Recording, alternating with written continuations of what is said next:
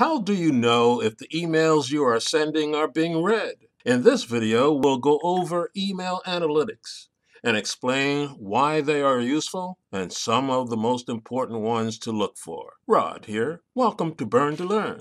In order to know if the emails you are sending are working the way you want them to, the first step is to have a clear goal in mind. Determine what the purpose of your email campaign is. Once you know this, then you can choose what you want to measure so as to know if you are on the right track. Let's take a look at some of the most basic metrics and how they can be useful to making a better campaign. We will see open rate, click rate, bounce rate, and a 24-hour performance chart. I will use MailChimp, one of the most popular email marketing services, as an example. When you log into your MailChimp account, the first view you get is the dashboard. Here you can see a list of all the campaigns you have created or have the ability to set one up from scratch. If you look at one of the ones you have already created, one of the things you notice is that next to a campaign name, there are two numbers, opens and clicks. If you hover over the numbers, you get the option to view an in-depth report. Let's click on this and look at the default report.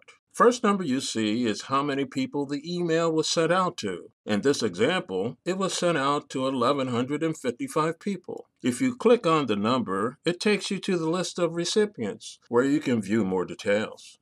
In the next area, we can look at the details of the open rate. There are three values here. The first value is the rate at which the current campaign was opened. This metric will usually be displayed as a simple count or as a percentage of the total emails sent. Say, for example, your last email campaign was set to 1,155 subscribers. An open rate of 13.9% would mean 153 unique opens were registered. You can get a detailed breakdown if you click on the number. The second value, list average, refers to the mailing list itself. If you have sent other campaigns to the same mailing list, this value shows how often the recipients on the list opened campaigns you've sent. This one is below average. The third value is industry average, which refers to the average number of opens on other campaigns sent within the insurance industry. On the other side, we see the second point, click rate. This refers to the amount of recipients that clicked on any link in the email. This can be a call to action button, a subscribe button, or even a YouTube video link. As we can see here, only one person of 153 clicked on a link within the email. This is both lower than the list average and the industry average. If we take a moment to think about these numbers, we find a little nugget of insight. Even though the number of people that opened the email was high, above industry averages, only 0.1% or exactly one person interacted with the content in the email.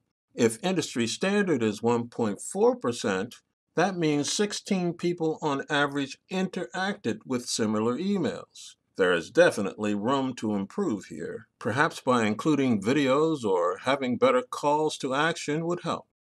Further down, the dashboard gives us additional details on this campaign. Here we see the third point, the number of bounced emails. This number refers to the emails that could not be delivered. Most likely, these accounts are no longer valid and could use updating. In this section, we also see two other values that might interest you. How many unsubscribes and how many total opens the campaign had. The latter value indicates that some recipients opened the email several times. Below this, we see the fourth point, a 24-hour performance graph. This graph reflects the behavior 24 hours after sending the email. A quick look shows us that most recipients opened the email within an hour of receiving it. There is a second group that opened the email the next morning between 8 and 9 a.m., probably right after arriving to work. Knowing this can help us plan the time when we send email campaigns.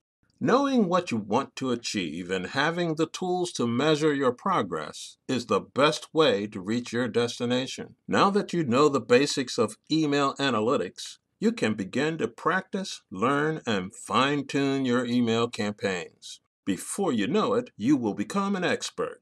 This is Rod from Burn to Learn. Thanks for watching and don't forget to subscribe. Want our accelerated learning program? Click this button and join the Inner Circle, where you'll find seven tools to accelerate your learning on Burn to Learn.